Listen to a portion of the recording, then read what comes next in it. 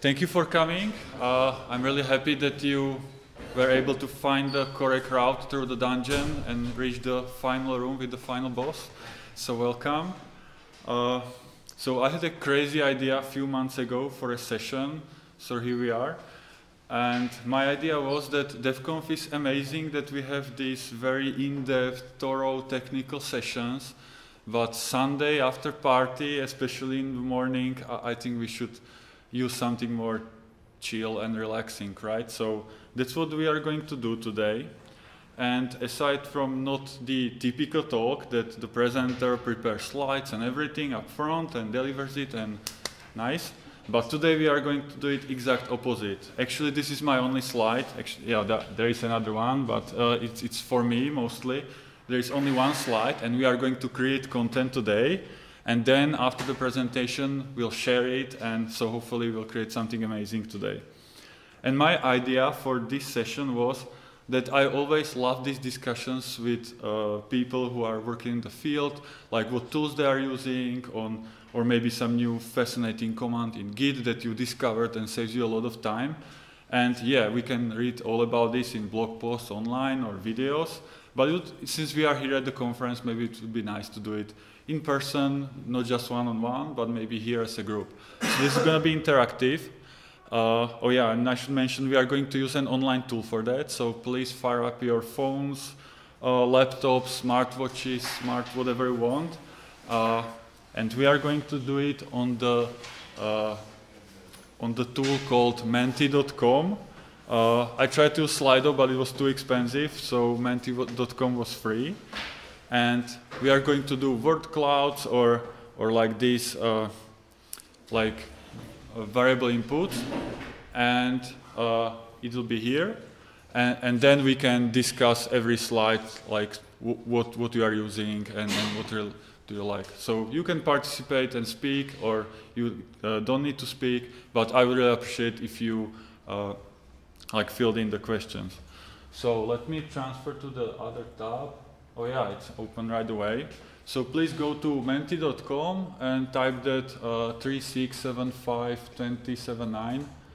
Uh, hope you can see it in the back. Maybe I try to zoom it if it works. Okay, it doesn't do anything. Okay. Uh, yeah, so if you can't see, I can maybe write it down, but looks like that you can see. So yeah, first question, what language you are uh, enjoying right now? Like a starter. Okay, uh, thank you. So we have lots of Python lovers here. Okay, amazing. And also, yeah, actually very diverse audience. That's amazing. I think we can really learn from each other. So any particular feature you like about a language of your choice?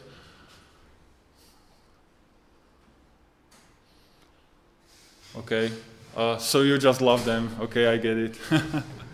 But for example, in our team, we are using Python as well, and we started using the Walrus operator. That was that was quite quite uh, amazing that someone introduced it, and we all had to learn what it actually does. okay, uh, so that was the starter, and I, I will try to control it from my phone because that's what they said is the easiest.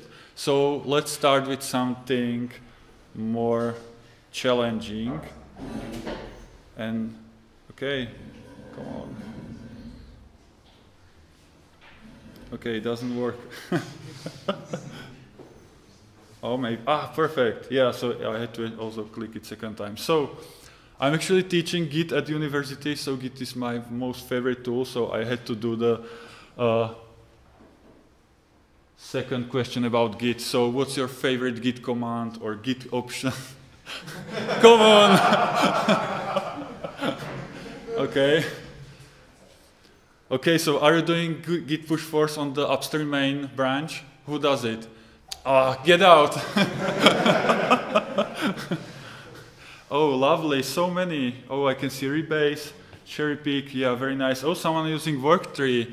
So how are you using work tree? I, I never found a use case for that, to be honest.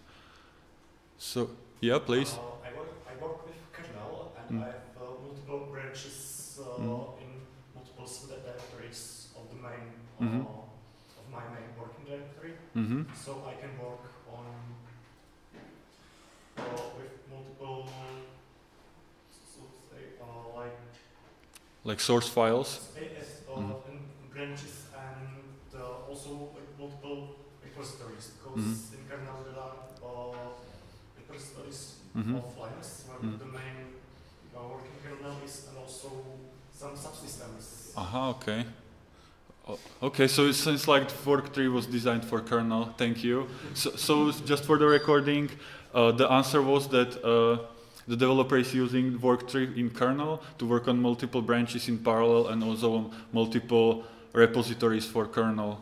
Uh, and for everyone else who doesn't know Work tree, so Work tree actually allows you to check out a Git branch in, in a new uh, like directory, uh, like like tree structure, so that you can literally see two files from two branches at the same time. So uh, yeah, i- it's neat, but uh, as I said, like I, I can usually just like switch branch, right? But but if you need multi like to see the file from multiple branches at the same time, it can be useful. Okay, so what else we have uh, here? You can see bisect, rebase, rebase. Uh, the uh, I is is the biggest one, so thank you. Yeah, that's also my most favorite command from Git. So anything that stand out for anyone in Git? I tried one, but it's not there. It's not exactly Git, but I don't know if any of you know the fuck. it's like uh, I read that if you make a mistake or typo on the Mhm. command, you always get like Mhm. maybe you meant this, so Mhm. you can just type fuck on the command line, and it will just revert uh, and use the recommendation instead. Mm-hmm. And it's sometimes life saving because we have this long command and you're like, Mhm. oh no, I need to copy it again. Yeah. For example, if you create a new branch uh, and want to push it uh, to, to GitHub, then you have to, to, to add these Mm. parameters, Yeah. uh, upstream origin, Mm-hmm. uh, and uh, if, if I have this, this tool, I, I Mm. can just git bug, git push, Mm-hmm. it fails with an error, and I type F, and Mm. it recommends uh, Mhm. Array parameters. Yeah. Mm-hmm. Okay, thank you. Uh, s- sorry, Martin, ju- just for the recording, uh, real quick. So the comment from the audience was a tool called Dafak or something like that, and you use the F word to correct the previous command. So if Git output something very wrong, you just run one command and usually guesses correctly what you want to do. Uh, Martin? I don't see that, and I know that many people don't know that there is Git uh, reflog Mhm. uh, command which allows you to backtrack if you Mm-hmm. set something up. Mm-hmm. so just want to mention because Uh-huh. Okay, thank you, Martin. Yeah, that's a very good point, and it's true. It's not there. So Git has reflog. Uh, that's like a log of what you are doing with your Git repo. So it tracks all the references, everything. So if you screw something up, you can always look it up there. Like, like the output is a little bit complicated, so maybe use ChatGPT to explain it to you. But you can actually really find your commits that were lost or something and check them out and, and work out. Thank you, Martin. That's a very good point. Okay, so uh, lots of people loving Git, perfect. Uh, so let's go for next one. Okay, I'll probably use this because the phone isn't really reliable. So next slide. So the next one is uh, so we touched Git. So let's do uh, let's do shell aliases or even shell functions, but I don't think they would fit on the slide. So do you have some favorite shell aliases that you are using? Uh, Okay, I can see LL, so that, that's even the standard one that should be in Bash by default. So, but uh, like here, maybe also explain what the alias does, because it's just like one or two letters. It would be hard to guess. so, anyone using anything fancy? Okay, ls, la. So, for example, I'm trying to use uh, a lot of like instead of writing git i write just g instead of writing of like oc i just write o and like i like all these that are used daily i just shorten them to one letter that's that's very useful for me okay i'll, I'll try to hide that interface thing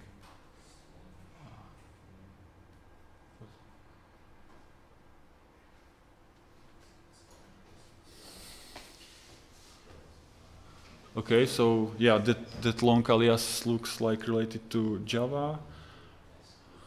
Oh, pip, pipenv shell, yeah, that's very nice. So what does Git uh, work in progress does? Uh, it uh, filters uh, the branches uh, by the time you last committed to, to, to branches. Uh, Uh, Mhm. So it shows you the names of the Oh, of the nice. last worked on. Mm-hmm. Mm-hmm. It uh, uses uh, for each ref, Mm-hmm. sort, and Mhm. something like Oh yeah! The, wow, that's brilliant. Thank you. So the Git vi- uh, work in progress uh, does that. It it prints out branches b- and sorted by uh, the the ones that you worked on most recently. So, which I agree that that's a big problem because if we have hundreds of branches and they are sorted alphabetically, that's not very useful. We usually work on them once and then forget them and forget them clean it. Yeah, that's brilliant. Okay, what else? Oh, v equals vim, nice. and vim equals nvim, so is it, is it transitive?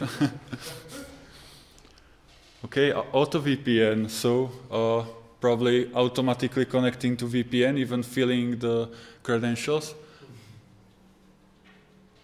Okay, no one wants to confess to that one. okay, so can we scroll this? Oh yeah, we can. Ah, okay, yeah, th- th- that's the, yeah, thank you. Okay, perfect. Uh, okay, any more interesting shell aliases or functions? Okay, then maybe we can go to the next one. So what else? Okay, and how about tools? Just any command line tools, graphical tools, services, like whatever you are using that makes your life easier and maybe other people should know about it. Ah, Grafana, nice. Okay, I don't know many of these. So Git GUI, is it some kind of new interface for Git? that. This is an old uh, TK-based Mhm. interface. Okay. Just integrated with Git. You can commit and push uh, with it. Mm-hmm. Just if you want to commit uh, Mhm. I find it easier to do it Mhm. graphical and the rest I do in. Mm-hmm. Okay, thank you. So just for recording, uh, it's a it's TK-based interface, graphical for Git. But I also saw TIG in the list. That's actually the Git interface I'm using. It's command line based. It's it's very efficient, lots of shortcuts, and and it's really perfect. Okay, I can see tmux. Oh, K9S. What's K9S? That's uh, like like a GUI, but you can run it in shell, like TUI uh, for Kubernetes clusters. Oh wow! S- Finally, someone did that. Okay, thank you. So, just for recording, it, it's a terminal user interface for Kubernetes. Okay, thank you for sharing. Uh, okay, what else we have here? Uh, so, anyone want to share about the tool of your choice that you put here? We have a few that I think are really, really cool. Um, we work a lot with uh, databases, and one of the pains always is uh, you need to make a quick table uh, for some department because they need to store some data.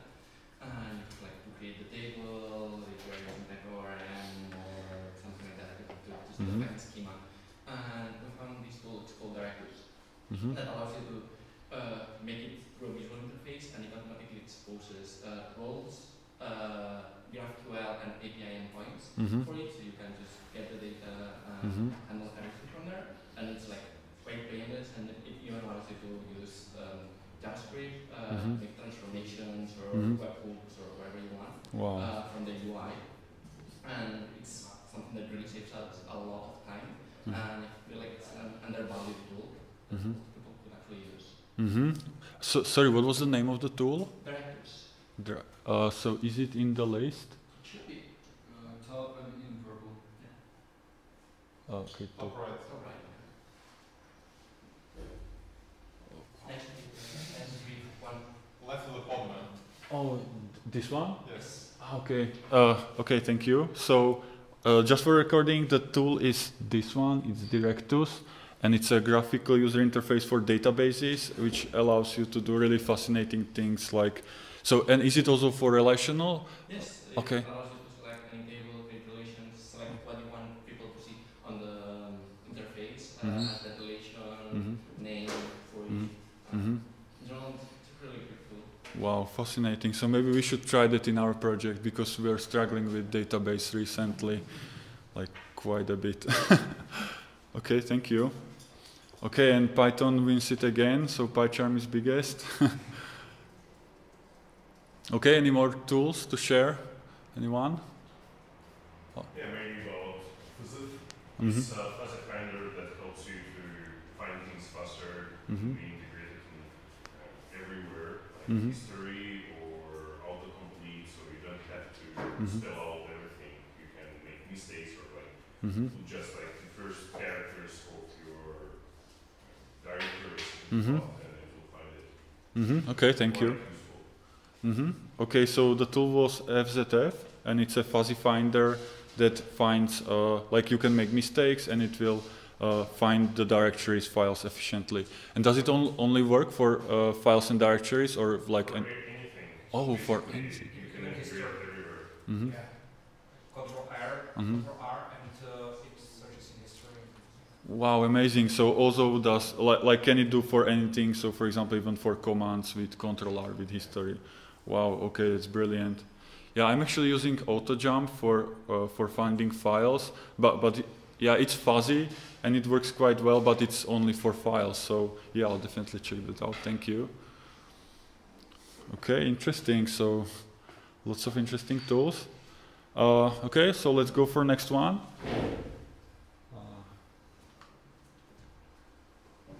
Okay, and I believe this is the last one. So how are we with time? Okay, we are actually burning through it quite quick, uh, quicker than I than I thought.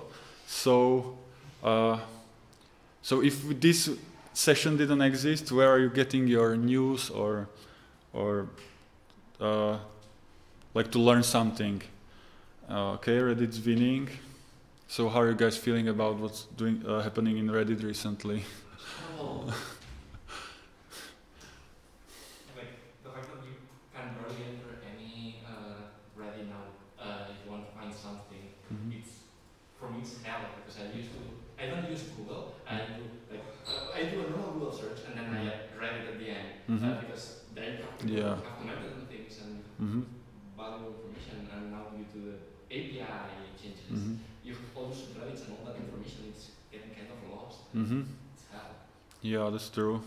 So hopefully we can access the information still in the web archives. But but you are right that it's amazing that when you like lo- searching for something, you get some Reddit thread, and, and you can find context and even people having similar problems. So it's really helpful. And now with the API changes, we might lose it. Okay, so Reddit, Twitter, Mastodon, nice Hacker News. Okay, perfect. Oh, even DevConf, amazing. Thank you. Okay, and root CZ, so we have some uh, Czech and Slovak people here in the audience. So anyone still using like uh, like the old school RSS feeds or something like that? Okay, also that, perfect. Oh, Okay, nice. Uh, yeah, and as I said, uh, actually thi- this is the last slide. I thought that we would spend more time here, so maybe I should have prepared better. But I have prepared more questions, but I didn't put them in this uh, in the in this site. So since we still have like 15 minutes, maybe we can go through that. Okay. Uh, okay, so. Okay, th- this question I, I had prepared, but I tried to sort of like filter out those that I didn't think would be that interesting, and uh, yeah, text editors and IDEs. So maybe I should have included that in, in the list. And I saw already some Vims and PyCharms. Uh, so any new feature in any text editor or IDE that you really like, it's worth sharing. I'm enjoying the VS Code, the chat uh, with the GPT creation uh, on Okay. Insiders, where Mhm. you can just like some code and ask it questions or ask it to work. I have to see it doesn't work super well yet, Mm-hmm. but it's a nice feature. Mm-hmm. If Wow. someone doesn't know, you can page for the Insiders. And it's, it's nice. Mm-hmm. Uh, Mm-hmm. Okay, so so the comment was that VS Code has a ability to that it's integrated with ChatGPT directly, and you need to uh, like apply for beta to get in the program, and and and the comment was that it works pretty well. Okay, thank you. Yeah, that's that saves you a few alt tabs to going to the uh, website. Uh, Okay, and I, I think, yeah, I, we pretty much went through it. Uh, so we have like 10 minutes left. Okay, so any questions or, or comments? Like, uh, anything want to share? Anything? Uh, like my plan is uh, like to save the data from that.